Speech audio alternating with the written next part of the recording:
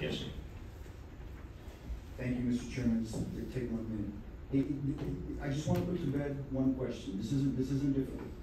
Um, on their own budget, their own budget, which is on their internet, water sales, that total one point six two five million dollars. Water sales, that's the water they sell us. So divide that by our allocation with the district, fourteen thousand two hundred, I know I kept saying fourteen thousand, fourteen thousand two hundred.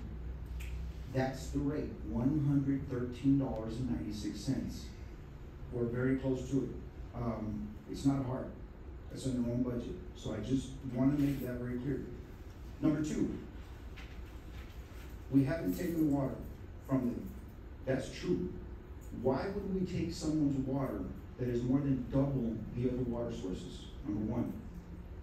Number two, I would like for them to refute the fact that on July 29, 2021, which is last July, the district elected to disregard its contractual obligation to the city, and despite its contractual obligation to treat the city equivalent to all others, meaning us, all other, the, the district delivers water to opted to not adjust certain rates in clear violation of its contract and set a rate that is unreasonable.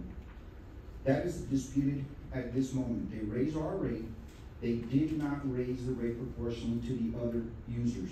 It's a big problem, Chairman King.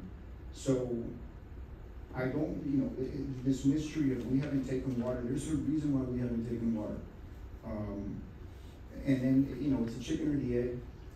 I know he'd like to say we've never treated them fairly, and that's why there's been litigation and legislation, and it, it goes both ways. It goes both, so I just wanted to clarify those two points, Mr. Chairman, that's it. Thank you, Mr. Mayor. Anybody else? If not, members, I wanna thank everybody